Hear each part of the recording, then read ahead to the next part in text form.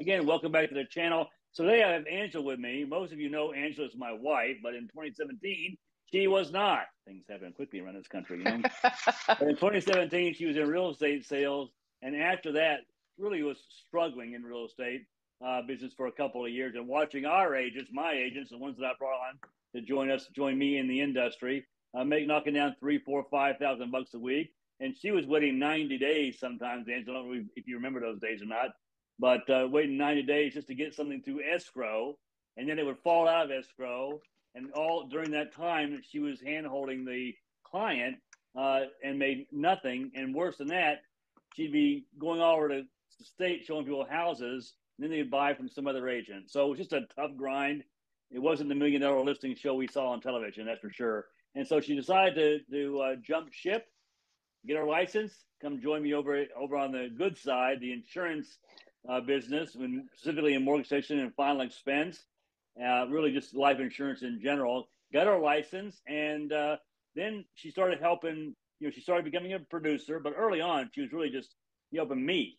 She'd uh, she'd prepare my packets because I was doing face to face back then. That was in California before COVID, and uh, and I'd go out and run those appointments, and then I would come back and she'd enter those in the computer and get them uh, get them through underwriting, work with the carriers, work with a client, all that stuff. So little did, we know she was learning a great skill. So as we started building an agency, she was helping our agents eh, eh, eh, go through underwriting. She was helping them get prepared for their cases. She was helping them with product selection, so she had to know underwriting really, really well and almost on the fly because they're sitting in front of clients. The way we do things in our agency, everybody, is that we you heard me talk about it before. It's called a know before you go system and you know that's changed a little bit because of virtual. Before we had we would book the appointment, we'd get some medical information, then she would do her research, figure out what products they qualify for, do me up a worksheet, and send me out to my appointment with a worksheet and the paper applications, and off off I went. And that's how we did it for several years. Well, when COVID came in, now we're doing things virtually. So we had to kind of do, do things a little bit more on the fly for me and for you know 25 30 or 40 other writers as well who are sitting from the client you got literally you know, a couple of minutes, yeah. right, in order to get uh, to look at a, a, a, sheet with some questions on it, find out what their answers were, and send it back to the agent so that agent can run rates and present those to the client. So uh, through that process, she learned not only how to become a very, very good agent, which she already was, and she's been an elite producer now for several years, earning you know multiple six figures and above. Uh, but also to help our agents achieve that same level. So I asked her to come on today to share a couple of things with you and uh, and we'll go through that. But specifically, I want her to talk about you know how she works leads, right? Is she buying final expense? Is she buying mortgage protection? Or she just buying uh, uh, just general life insurance leads? You know what product she sells, what are her favorites, and how does she qualify a prospect for a product during a live virtual appointment or face to face? So I think it's going to be some great information for you, uh, whether you're doing virtual or face to face. This is who you want to exemplify and, and, and copy. It's an old book about, written by a friend of mine, Angela. You heard me talk about before. It's okay to be a copycat as long as you're copying the right cat. So Angela's the right cat. Thank you. I'm excited to be here. Um, I always hear such great things from all your followers and and everybody always loves the channel. So I'm excited to be here. Uh, and I, we, I guess we'll just jump right in. Yeah. Tell us a little about your background. I mean, I, I did share a little bit about it, but the kind of the road to the industry uh, and what you've kind of experienced since since you've been here, and then we'll hit those other topics one by one. You know, um, Steve was right. I mean, I, I, you know, I spent a lot of my adult years, you know, since I became an adult. Um, I was, I've been in various different types of sales. Um, I, I, you know, I grew up in California, and we were just a middle class, average family. I, you know, my dad was a cop, my mom was a stay at home mom most of, you know, my growing up years, and um, we didn't have a lot of money. We weren't broke. We weren't we weren't you know we weren't starving or hungry or you know worrying about the roof over our head. But we were like the majority of our clients and kind of this market, like this market that we serve. That I came from that market. It's the market that doesn't have financial planners and you know we didn't have a cpa you know my dad had a, a buddy that did his taxes that's what we had you know we didn't have a financial planner we had you know some at work they took money out of his paycheck for his retirement that's that was our financial plan you know likewise we weren't too broke to survive i mean there were four of us so i'm sure my parents felt like they, they were too broke to survive but you know, we were in that kind of middle income America. And I think that when you are talking about things like leads and the uh, what you're kind of focusing on, that's really the market you want to focus on is just that kind of middle America, average family size, average mortgage. You know, they're not living in a multi-million dollar home, but likewise, they're not always on the brink of foreclosure. And um, so that I think that's a really important point to keep in mind um, because it will help you. It, it has helped me to kind of uh, guide me through as I'm thinking about the question that you just asked, which was, you know, do you sell final expense? Do you focus on final expense? Do you buy, do you, is it mortgage protection? Yes. Like I do all of it. You know, I, um, you know, there's a reason that like the number one you know, retailers in the country are, you know, Amazon, Walmart, and Target. Why? Because they sell like everything. They they basically want you to come into the store and feel like the majority of your needs, including your Starbucks fix, are met.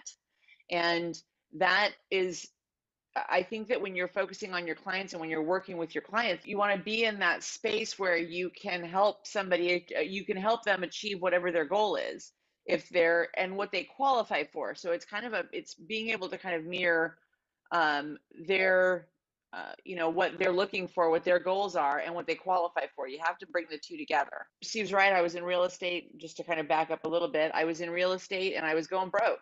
I mean, I couldn't afford to sell a two hundred fifty thousand dollar house and wait sixty days for it to finally run through escrow to make three or four thousand dollars or five thousand dollars. It was just I was starving and it was depressing. I didn't uh, i, I really I, I wasn't enjoying it because you know you were looking for these big huge homes or mansions to sell because you needed because you were like ah, i gotta make a good sized commission.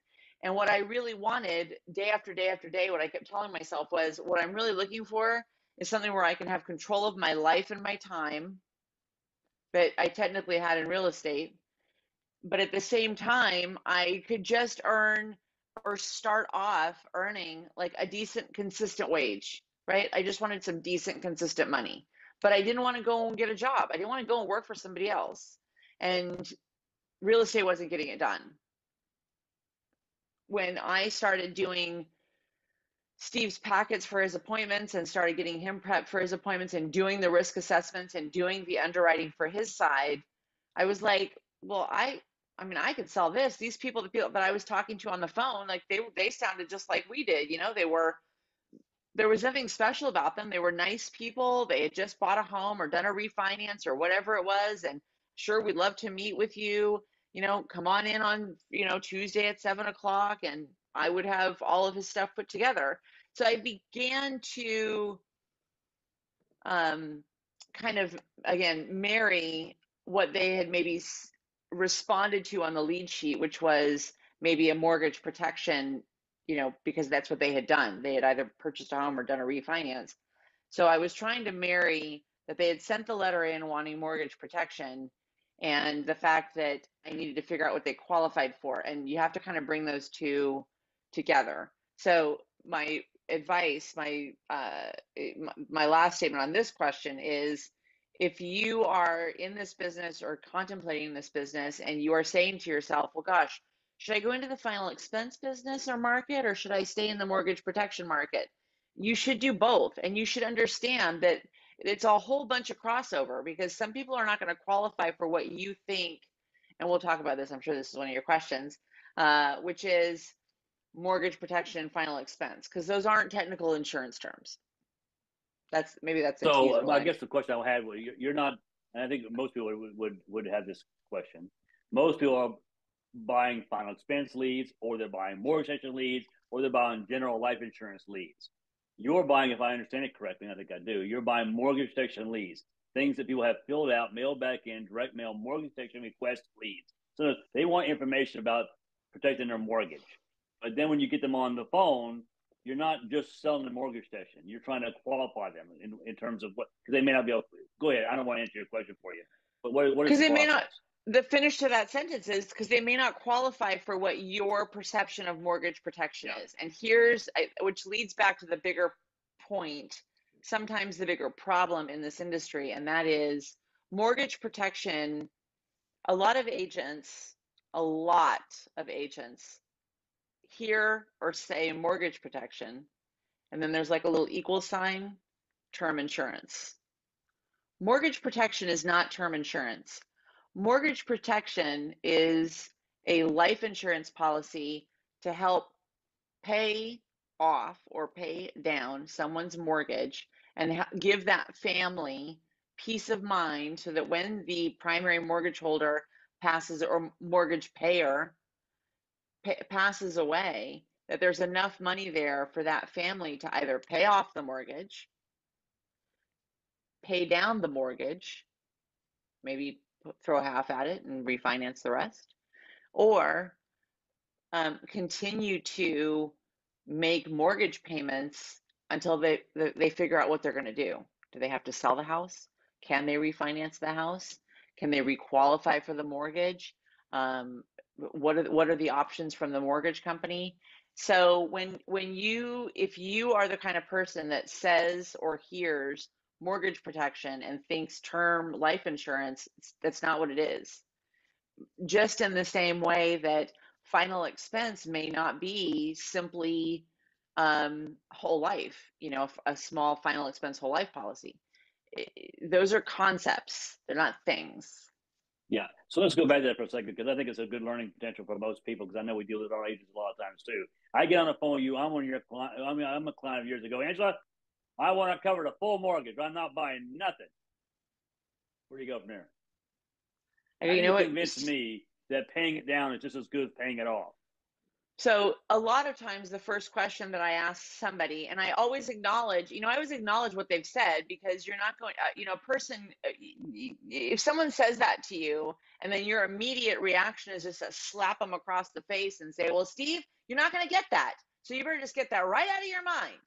Okay, that's not like maybe back up to how to win friends and influence people, right? That's not going to, it's not going to get you anywhere. So typically one of my first questions is, okay, Steve, I, I, I, I understand what you're saying. So we want to try and cover that whole mortgage. So Steve, tell me if something happens to you, if you don't come home tomorrow, God forbid, who, who's going to who's going to live in the house, take over things, handle things for you? Who, who's going to handle this, the house, the mortgage, that kind of stuff? Who's who's going to be there? And typically, uh, my daughter. Your daughter, okay. And do you think your daughter's going to want to live in the house or sell the house? No, she hates this place hates the house, so she's probably going to want to sell it. over for Christmas. Yeah. That's true. No, I'm just kidding. Um, so once we've established that, then it's more of getting Steve to understand that maybe we don't need to pay off the mortgage. If your daughter, so I always go back with, okay, Steve, so if your daughter is not going to live in the house, if we're not worried about keeping a roof over her head, right? It's not like she's a minor. Um, then what we really need, it would seem, is we need to be able to make sure that there's enough money there so that your daughter can pay on the mortgage, have enough time and enough money to get the house ready to sell and then sell it. Because, you know, I mean, I don't care how fabulous your house is or what, how great the price is. You know, it's very rare that you know you put we're not really in that market anymore where you put a house on the market one day and it sells the next. So she needs some time so that the house doesn't the bank doesn't take the house in foreclosure while she's trying to sell it and keep all that keep the equity or the profit. So yeah, there's really we'll no advantage of the house being paid off because they're not going to no, if, if right. i pass away they're not going to go to her and say hey we want you to make the next you know you pay pay that off. They're going to look for the next month's payment. And if it doesn't if it's paid off and she's still going to sell it it's still the same results when she sells it right? So he's carrying full coverage insurance on a mortgage or trying to, when all he really needs is to buy time for to sell the house and then get the proceeds from to sell the house. Right. And a lot of times when we now that we've got now that we've kind of established that that would potentially be our mindset, the next thing that we that we want to do is we want to find out what are Steve's options. Let's look at Steve, you know what we're going to do? We're going to look at as many options as we possibly can that make sense. So um, you know, let's go through, let me get some information. And while we're chatting here, I'll go through and run some rates. And if Steve is like this Steve in very, very good health, very physically active, he has a good build, meaning that, you know, his height and his weight are, are not out of proportion. Um, he's not too thin or too chubby. Uh, then we know that we have we we have more options. We might have a term option that would allow him to cover a bigger chunk of the mortgage or all of it, um, and still fit his budget. But he might be like my client earlier today that she has you know she has copd she has so breathing issues she has heart issues she has diabetes she's obese I, i'm not going to and i think she's on a on a blood thinner i'm not going to be able to find a carrier that's willing to take the risk and cover $274000 for the next 30 years it, it's not out there and so if I um, say to you, I, I, they're gonna, my daughter will probably move in. What's the, what's the, how, how are you gonna handle that one?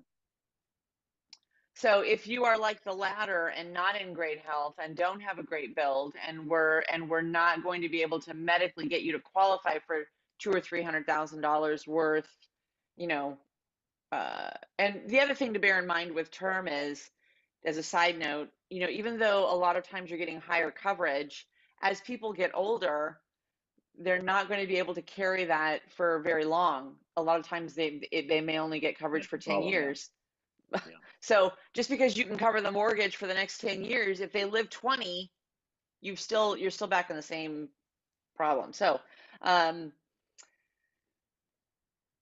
if it were a situation where we we really needed to cover as much of the mortgage as possible then my next conversation with steve was because he he says okay she's going to live in the house. She needs to live in the house. And i have clients like that where they've got an adult child that they're very worried about leaving. You know they're worried what's going to happen to their kid when they die.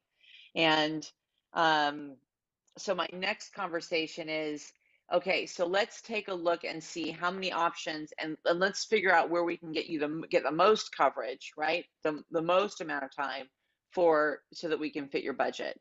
So typically what i'll do is depending on what they qualify for health and age um, go to that carrier find their final expense whole life policy and it's typically gonna they're typically gonna max out somewhere between thirty thousand and about fifty thousand. Um, there is a new company out there that will go to a hundred thousand if they are in a certain age range. You know, there's knobs you have to turn with this stuff. And um, so at that point, I would uh, start running the rates for the most coverage that I could. So if I felt like after looking at my underwriting guides, I felt like Steve could qualify for the most that say Mutual of Omaha would offer, which would be $50,000 in coverage, I'm going to run that rate first. I'm going to start there. And then I'm going to find out from Steve, um, you know, one first, how, how, what, what that premium is, and is that going to even be remotely feasible for him? If the premium comes back and it's $300, and Steve says that his budget is $30 a month, then there's no, then we don't need to go down that path much further. We need to find something closer to what fits his budget. Um, but my next point in that, which is something that we've done a lot of trainings on, is I'm going to figure out how many months of the mortgage we can cover for his daughter so that she can continue to make those mortgage payments until she figures out a plan because she's going to have to figure out a plan you're shifting the conversation away from you know a lump sum to hey look I get you I get the mortgage cover for your daughter for 72 months or 68 months or whatever because there's some value in that because they're almost five years or however long right. it is right. to get the house ready and get it for sale and cash it out and get the money which would be the same thing but different because he wouldn't be paying a large he's going to be paying a larger amount of money for on premiums to cover that the, the whole mortgage rather than covering a, a, period of time, let her sell it and gain the gain the the uh, the payoff that way. Comes as the same thing, but it's less expensive on his part. Plus, he's aging. So you know, we right. always talk about this. You know, buying as much as you can for as long as you can. That's that's our terminology for uh, for term insurance. But I think one thing I want to stress is everybody watch the video is because uh, we get it all the time. Well, Angela, you know, they they they are not they they insist on a million dollars of coverage. So it's great that they insist on it, but it's not what they want; it's what they can qualify for. And right. if, if you're dealing with if you have the luxury, as our agents do, of having you know 15, 20 different carriers, you know that you if you if, if they can't get the coverage with you, they're not getting it with anybody else either. So you need to educate them on this is what I can I can qualify you. Yeah, the thing to bear in mind, I think, too, is sometimes as agents in our fervor to make to to get to to write the app and to you know help a family, and I only say that in quotations because sometimes we we get stars in our eyes, right? We we see those big commission dollars, and that's really the direction that we want to focus in on, even though you know we're always uh, it is always to help the client. But I, don't make don't make no mistake i do this business so that i can help people and earn a living because that's what i do. Um i i i, you may have to cut this part.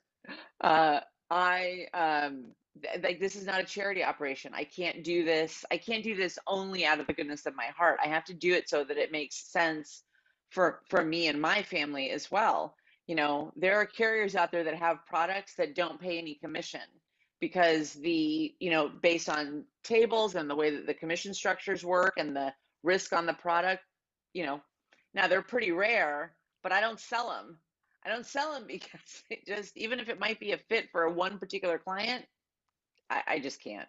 So, uh, anyway, I, There's a uh, lot I, that can come out of this video. question. The questions I already have, I've written, I read down a whole, whole page of notes, and I, and I work with you every day. So, uh, uh, you know, there's a lot of things we can, we can go down that road on, on, on different things. But Yeah. in the essence of, of getting these questions that we want to get answered on, on, on this particular video, keep it short enough to keep people's attention. Tell me the you know, when you're when you're in that process, especially virtual, what four things do you need to know from that client in order to get them qualified on a product? So that's a great question because sometimes there are things that we leave out. And then you have agents that get upset because they get the they get their clients get declined. So the first question is always uh, that I always ask um, and the first two questions go hand in hand, but they have to be asked separately, in my opinion, because otherwise people don't. Uh,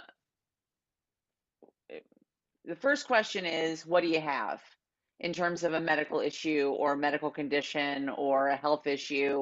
What do you have? You know, I have diabetes, I have neuropathy, I have high blood pressure, I have nothing, I have acid reflux, what do you have? The second question is, what do you take? And here's why that those two questions go together, but they are actual separate questions. Because a lot of people um, will say when I ask them, what do you have? They'll say, oh, I have nothing. I'm good. Fit as a fiddle. And then I ask them, what do you take? and they start saying, "Well, I take two medications for high blood pressure. I take a cholesterol med. I take take an acid reflux medication. I take something for my thyroid." And then you say, "Well, oh, you said you didn't have any issues." They say, "Well, I don't have any health issues because I take these medications and now they're not health issues You anymore." got band-aids all over the place. Right. You, you know, so it's always it's always important to ask both questions. What do you have and what do you take? Because some people in their minds they don't they don't connect the two. The third question is how long have you had it? So, and this is a really really important question because most insurance carriers have different time frames for different scenarios. So some carriers will if someone was diagnosed with diabetes after the age of 50, that's fine. If they were diagnosed before the age of 50, it's a decline. Other carriers, that age is 35. Other carriers don't care what age the diagnosis was. So it's always important to ask, how long have you had it? Is this something that you, it also helps you establish whether or not this could have been something that was a, a birth defect, uh, you know, something they've been born with, or something that developed later in life. So uh, important to know that. Also, when you're asking, when you ask the question, what do you take in terms of medication? Sometimes I will, I will kind of reverse that question. People are like, I don't remember the name of it, or you're going, you as the agent are going to start picking up some of these names. But um, if somebody can't remember a specific medication, I ask them, where do they take it for? Like, I don't know the name of the pill. Well, what do you take it for? Well, it's to keep my blood pressure down. Okay, that's a blood pressure medication, right? The last question is, what's the status now? So some health issues get better, right? Some health issues, you have them, they go away. some health issues get worse. If somebody has congestive heart failure, it's not getting better. If somebody has high blood pressure, it could get better. Could get to the point where they don't no longer, no longer need medications. Congestive heart failure is not getting better. Uh, cancer. Maybe they had cancer 10 years ago. Now they're cancer free. So, what do you have? What do you take? How long have you had it? And what's the status now? And those four questions, along with their age and their height and weight, are typically enough for you to um, build, uh, you know, build options for your client. Perfect. I'll tell you what, a lot. That's some valuable information. Uh, what do you have? What do you take? How long have you had it? And what is the status now? Four yep. questions that will help you identify and qualify a product uh, for a, for any client, regardless of what they filled out the lead form. That's the message of the video. Right. Is look, be, be you are a life insurance agent. You're not a mortgage station agent. You're not a final expense agent. You have a, you hold a life insurance license, meaning you should be serving that client with what they can qualify for and what their interests and needs are. Right? interest is kind of a weak point because they might be interested in full coverage, but they can't qualify for it. So what Angela's doing, she buys the lead, she calls, talks to the client, figures out what they're looking for, and what they can, and then what they can qualify for, and presents them some options for them to consider. Usually A, B, and C options, uh, you know, that they can that they can consider. And she's working, and it doesn't matter whether they fill out a final expense lead or a mortgage lead or a life insurance lead she's landing them on a product that serves their needs that they can qualify for. Right. That's the point. Right? Did I say that right? And yeah, that's powerful absolutely. because we get a lot of agents say, oh, I want to sell final expense. You know, or I want to sell. I said, why do you want to sell final expense? Well, you know, I, whatever reason is. I go, I wouldn't pigeonhole yourself into one product. You're a life insurance agent. Buy some leads, call the client, and figure out what right. their what their problem is and solve it. Right. With your life license time. Angela, I appreciate you being on here. Um, we're, we're going to have you back. Some great, valuable information that, these, that I think everybody can use. So I appreciate you being here. Thanks. All right, guys. Hey, listen, don't forget, we got the 24 videos in the month of July. We got one video coming every day, Monday through Friday. We take the weekends off. Hey, listen, if you if you liked what Angela had to say, leave her a comment. If she doesn't read them, I'll read them to her. Give us a thumbs up or a thumbs down. And uh, make sure you subscribe, hit that notification bell so you can get the next video because we got more great stuff coming. And God willing, we'll see you on the next video. See ya.